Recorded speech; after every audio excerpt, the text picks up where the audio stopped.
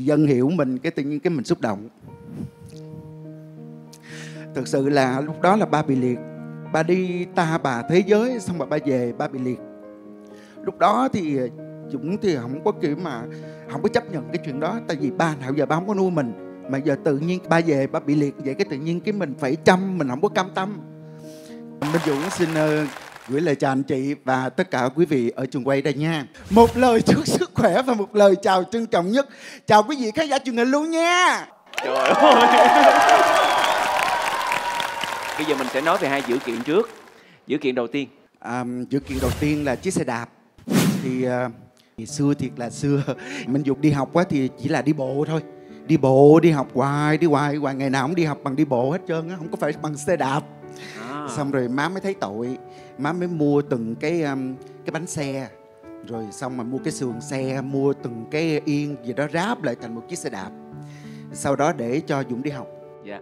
Lúc đó là ba của minh dũng á là um, ba ở nhà hay nhậu xỉn đồ. Rồi xong rồi ba cũng đi biệt tâm biệt tích mấy năm rồi ba mới về. Rồi ba mượn cái chiếc xe đạp. Ba nói á, là để cho ba đi công việc. Chừng uh, buổi chiều ba về ba trả. Rồi xong hai ngày luôn không thấy ba về. Rồi ba lấy chiếc xe đạp ba đi luôn. Rồi má mới nói ủa sao chiếc xe đạp đâu? Không thấy chiếc xe đạp. Rồi mới nói là ba lấy đi rồi. Dạ. ba lấy đi rồi giờ chắc chắc ba đi luôn rồi quá ba không trả. Rồi cuối cùng thiệt ba không trả thiệt luôn. Cho tới lớn luôn á là lúc nào ở trong nhà cũng có một chiếc xe đạp hết trơn á. Dạ. đó là kỷ niệm của em dữ kiện xe đạp. Bây giờ chúng ta sẽ đến với dữ kiện thứ hai. Bị liệt. Bị liệt. Cũng liên quan tới ba. Chị dân tự nhiên chị dân hiểu mình, cái tự nhiên cái mình xúc động. Thực sự là lúc đó là ba bị liệt. Ba đi ta bà thế giới, xong rồi ba về ba bị liệt.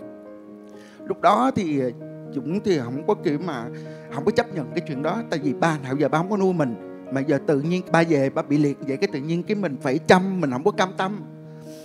Nhưng mà cuối cùng là mình cũng phải chăm ba. Rồi xong rồi cái thì cái chuyện này em có kể cho chị Vân. Chị Vân là một cái người mà coi như là em hay tâm sự với chị Vân lắm. Những cái gì mà em muốn nói hay cái gì đó, em em trải lòng với chị Vân hết. Rồi chị Vân là tập một cái vở kịch chuyện chung cư, chị nhớ không? Thì cái vở đó, nó chỉ là một cái gạch đầu dòng thôi là chung cư đó có một ông già bị liệt.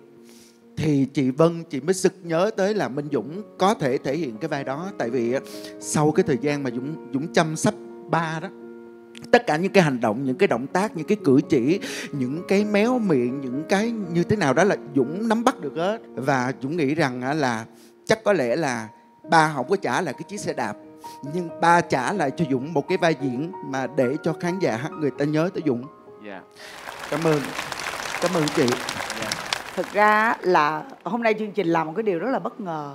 Không bao giờ tôi nghĩ là sẽ có Minh Dũng ở chương trình này đâu bởi vì là biết là Dũng ca được nhưng mà không bao giờ nghĩ là Dũng sẽ tham gia những cái chương trình à, của ca nhạc thực sự là như vậy rồi tới lúc mà Dũng chỉ cần đưa dữ kiện ra là chị biết liền đó là Dũng bởi vì cái thời gian mà ba liệt á, nó là một cái thời gian gần như là thanh xuân của Dũng luôn á.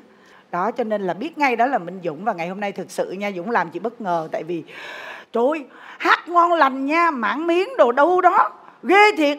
Mà là ngay cả hóa trang là tôi biết chắc idea cũng này là của Dũng. Đúng chị nói xong thì em mới nói là trời ơi sao chị Vân chị hiểu mình quá vậy? Em cảm ơn chị đã hiểu em. Cảm ơn chị. Dạ. Bây giờ chúng ta sẽ nghe chia sẻ của anh Lý Hùng. Tôi thì có ý kiến là về hoàn cảnh của bạn thì cũng mới biết thôi mà thực sự thì cũng chia sẻ à, về vấn đề gia đình. Nhưng mà thôi cái chuyện đó đã qua rồi mà tôi sướng nhất hôm nay gặp bạn. Bạn làm tôi đã lắm nghệ sĩ phải vậy. Nghệ sĩ phải ra diễn hết mình à, sân khấu không phải thi.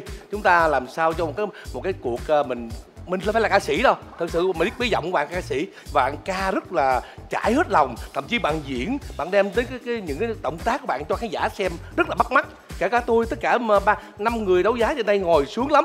Thì không biết gì hơn nhưng mà đó là cái máu nghệ sĩ trong bạn tuyệt vời lắm. Muốn làm gì làm phải sống hết mình như vậy thì chúng ta mới sẽ tỏa sáng được.